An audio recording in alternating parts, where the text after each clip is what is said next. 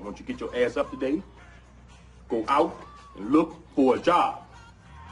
The word today is job. J O B. What's good, family? It's your boy D Boyd, and I want you to look at the question up above, bro. Which is better, a job or a business? A job or a business, man? I want you to tell me what you think in the comments, man. Because for me, I think it all depends on the person, bro. Like this is where goals come into play. What is what is your what is your goals?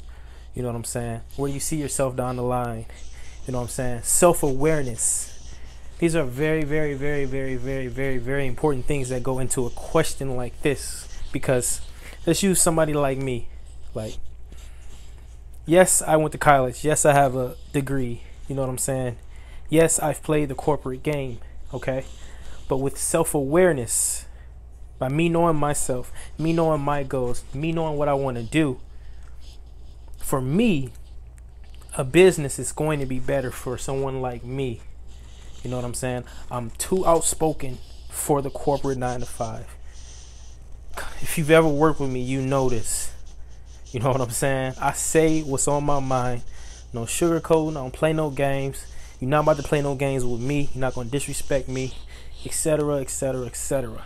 You know, and when you're someone like me, when you know your potential, you know where you want to be in five years, ten years, twenty years, etc.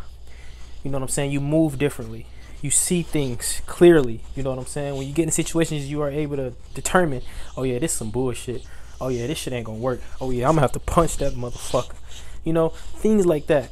And you know, you also become aware of um, knowing things that could make a business better. You know what I'm saying? Being hip, being, you know, tapped in to the community, tapped into the industry, but you may be working under someone who's old school, who doesn't get it, who will never get it, who's clueless, who don't fucking listen, etc., etc., etc., etc. So you kind of find yourself in this uphill battle every fucking day you go to work. You know what I'm saying? And for me, you know what I'm saying? Number one thing important to me is my happiness. So if I feel like I'm not happy, I'm gone. That's how I look at it.